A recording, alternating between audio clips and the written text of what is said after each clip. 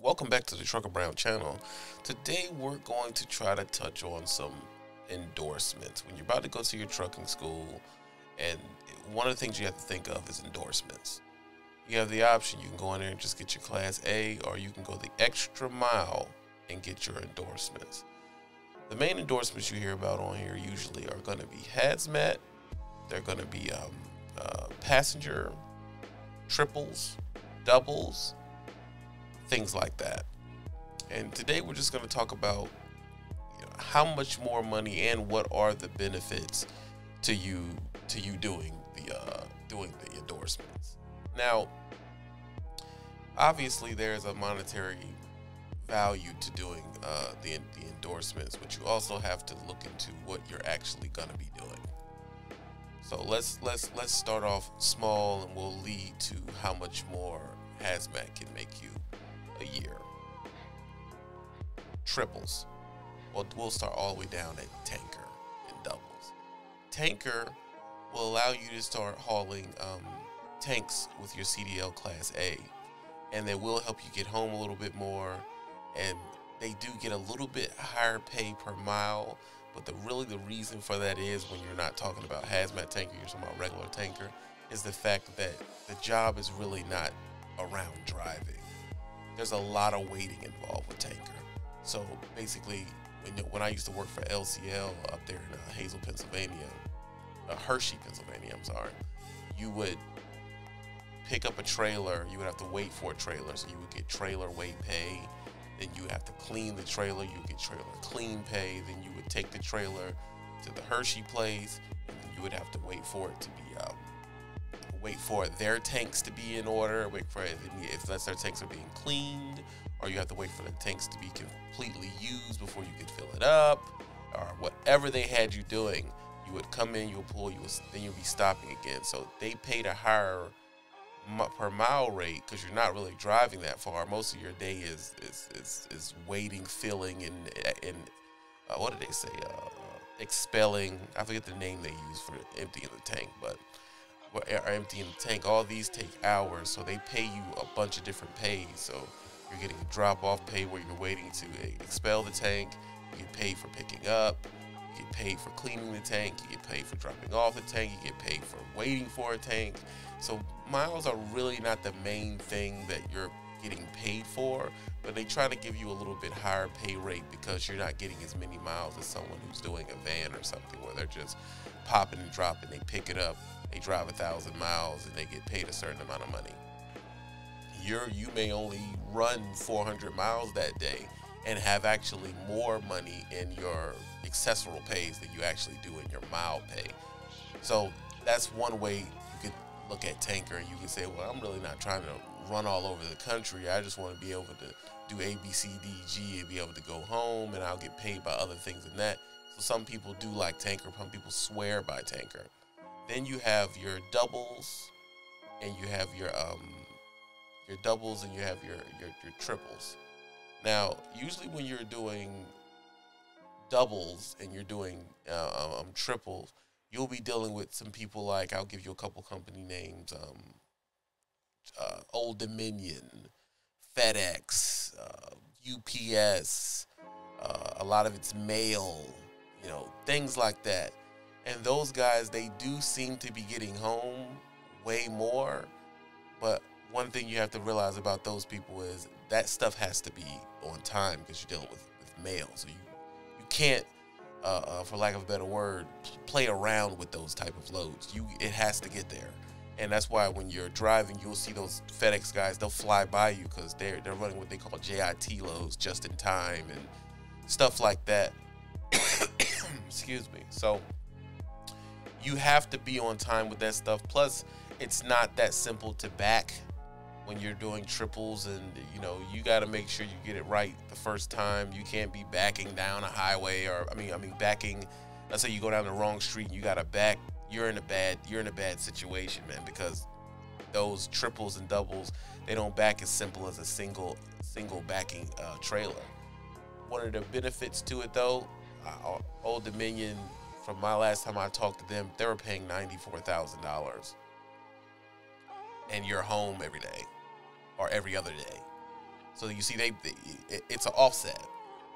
So on one hand, you'll say, "Oh, I don't want to deal with that," but you're going in there starting with a decent. Sometimes they have decent signing bonuses at these places, so you're starting somewhere around eighty, ninety thousand dollars in a pretty chill area. Let's say you live down south somewhere, and you're you're freaking home at a, a, lot of the time. Now, there's a lot involved in that. You know, you have to. There's a lot of stops. There's uh, uh, stuff can't be late, things like that. But you will make it home, and you will make a very, very competitive wage, messing with doubles and all of that type of stuff. But you, you know, you have to weigh your options, man. You have to think, hmm.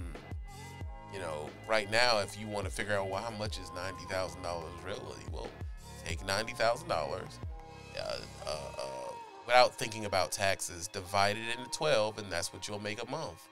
And compare that to what you're doing at the warehouse you're working at right now, or wherever you are working just without your CDL. That's the the up in lifestyle that you're pretty much going to get, but it is work that comes with that. And I, I, always want to stress that part where you just run in there only thinking about the money. And then when the actual go around turns into the get down, you're like, oh my God, I'm I didn't anticipate this. A, a perfect area, which you really need an endorsement to do, but an area where you need to watch just taking the money is food service. Food service pays very well, but it is rough. It is a rough job. Some people, some people, it, they like it, they love it.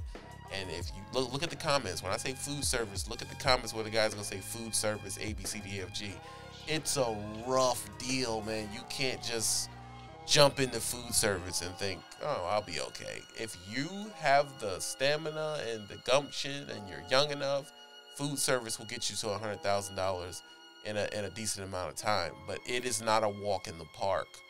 And I don't want this to be a, a channel where we tell you, oh, go do this, and you get there and it's not what you're expecting. Then you come around to the Gouda Glanja, the one that everybody loves to say, oh, get your hazmat. Now, you can get your hazmat. As Sean says on Think Media Channel, the niches get the riches. And that's so true even in this standpoint. You can go and, and be a, a tanker guy as Dirty Broke. Go follow him on YouTube.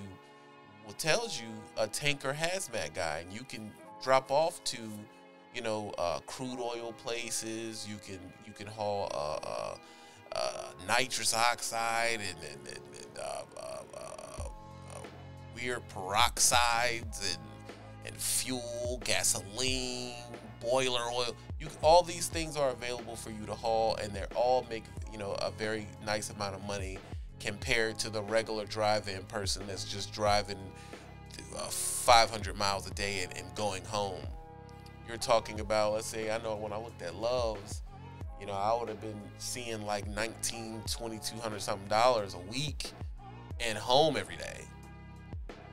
You know, that's if I had a, I don't have a hazmat, but if I did have a hazmat, like I said, go to Dirty Broke, he'll talk to you about it.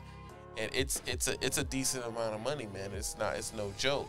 Some of the things you have to look into, and yeah, that's more because if you're doing drive-in, you're making fifty thousand dollars locally. That's that's pretty much what you're doing with no with no endorsement, no nothing. You're around thousand dollars a week. That's just the truth about the matter, unless you're messing with LTL. But you're talking about doubling your money over there in the hazmat tanker area. But there's some things you got to worry about. Some of you guys smoke.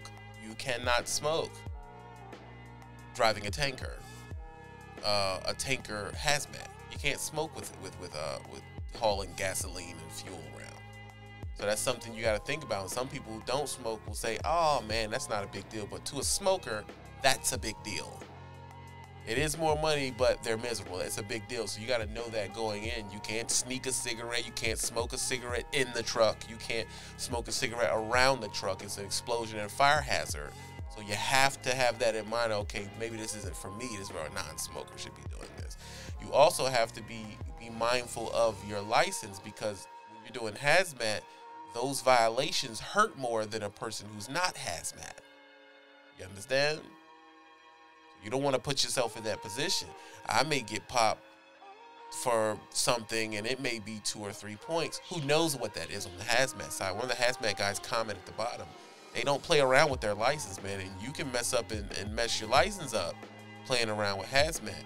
You also have to understand routes. You can't drive a 45,000 pound gasoline or nitrous bomb past a school. So you have to know the route you're supposed to take through the city and you can't drive it past the hospital. You can't drive it past like you have to know what you're doing. These guys are not, you know, they're not um, amateurs here. These guys are, are are the are the superstars actually. You also have to know about surge. When you when you brake with a van is different than braking with a smooth bore tank.